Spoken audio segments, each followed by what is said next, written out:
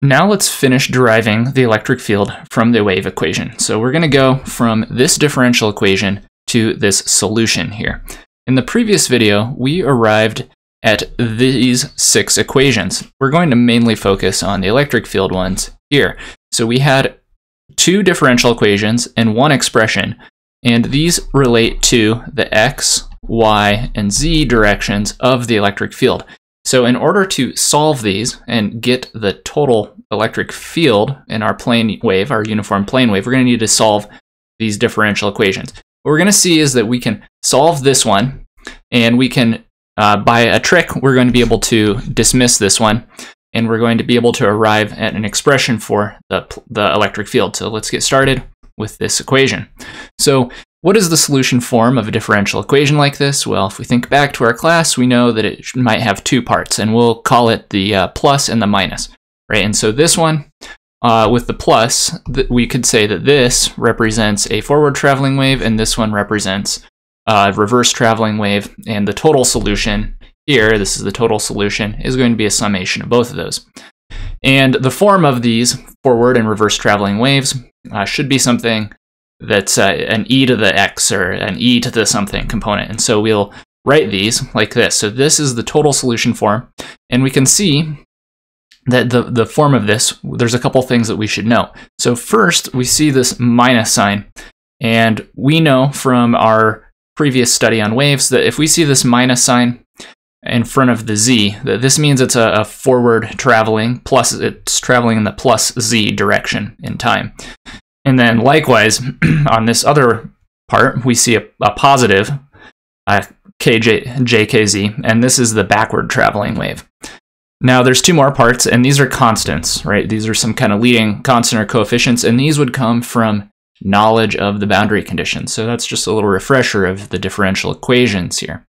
So solving that differential equation, we get uh, a solution form that looks like this, where we don't yet know uh, what those constants are, but we know what the solution form looks like. Now, we can say that we have this phasor form of it, and this will lead us to wondering what the instantaneous form is, so let's take a look at that. And to find the instantaneous form, we'll take the real part of these two expressions, and then we'll add in that e to the j omega again. And if we do that, we can have an instantaneous expression where we get the cosine wave going back in. And looking at this again, right, we should get a, a second confirmation about how the waves travel forward and backwards because we'll see, right, we have a minus kz here, which indicates the forward, the plus z traveling wave direction in time, whereas here we have the plus kz, which is a reverse traveling wave, and that, that's from our study of, of waves.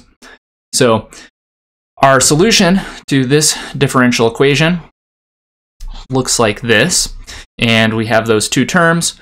Now, the total solution for this uh, is e to the x, uh, e sub x in the z direction, and we see that the solution form, right, the only variable that we have knowledge of is, is z. So in the phasor domain, we say that this e to the x is a function of z. And then likewise, we could get this for e sub y. So the y direction solution to that differential equation is the same as the x direction solution. Okay, so if the electric field and the magnetic field are everywhere, and we also know that there is no component of the electric and magnetic field in the plane that's pointed in the z direction, then we can continue on by making a couple more assumptions or simplifications that will help us to get to the final electric field solution. So let's make these assumptions. Let's assume that there's an, in our solution that the based on the boundary conditions that there's no backwards wave travel and also let's assume that the electric field is actually just going to point in one direction. So we know that the electric field, the total electric field is completely contained on this xy plane, but let's simplify it even further and let's say that not only is the total electric field contained on that xy plane, but the whole thing is pointed in the x direction only, just like this.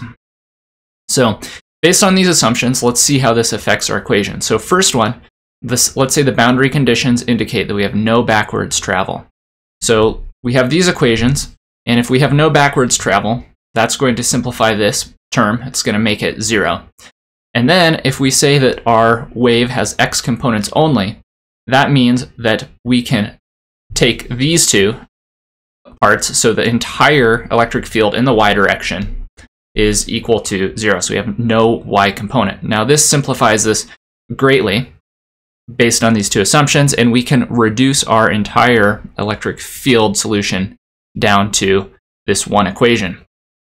Okay, now we see that this is the x component only, and so for the total electric field, that must mean that we have, in the x direction, we have this e to the x solution. Our differential equation for the, the y, right, we made this go to zero by making a further assumption that has the x component only. And then from the previous video, we saw that we know that there is no EZ component. So this is able to tell us that the, the solution to that wave equation, when we've made our assumptions, our total solution for this plane wave in the lossless media is only in the x direction. We have no y or z components. And the x direction of the electric field is a function of z, which is the direction that the wave is traveling. And so therefore, we arrive at this final solution for the electric field for a plane wave in lossless media where the electric field is directed in only one direction on the xy plane and it's traveling in the z direction. In the next video, we will derive this for the magnetic field. Thank you and see you in the next video.